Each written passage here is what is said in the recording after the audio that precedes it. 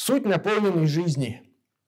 Очень часто приходится сейчас э, встречаться с людьми, которые ощущают, как будто бы, что им что-то не хватает в жизни. Вот они то делают, и это делают, и тут они, значит, это, и тут они то, и, пятое, и времени на все не хватает. И все равно вот это ощущение, что ты что-то не успеваешь, и что надо как-то ее по-другому, эту жизнь проживать, там, и так далее. Э, ну, я это понимаю, все. Вот. Я бы тоже хотел такую жизнь. Вот. Я только, понимаете, когда я про это думаю, я думаю, ну, это же все надо прочувствовать и пережить. Вот когда мы смотрим там где-нибудь в аккаунте, у человека вообще все, он все, он и путешествует, он и работает, и семья, понимаете, то, и все, пятое, десятое. Так. Ну, во-первых, это картинка. Ну, то есть, вот это как бы никто так не живет, как он показывает.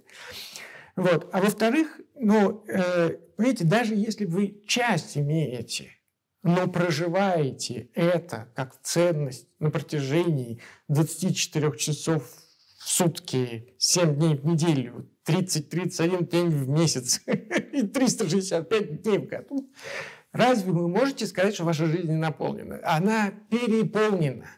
Поэтому вопрос не количества, да, не соответствия каким-то вот стандартам, которые где-то э, вы подсмотрели – а это то, насколько вы внутренне переживаете то, что с вами происходит. И если вы переживаете недостаток, а это ваше собственное переживание, мне нужно еще то, то, то, то, значит, что? Переживаем недостаток.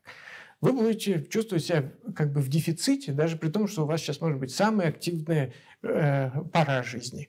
Вот, поэтому учимся проживать жизнь а не напихивать в нее как это, чтобы показать вот в Инстаграме у меня все есть. Только я несчастна, уставшая, вот, и забейте эту лошадь, э, она больше не может. Так себе история.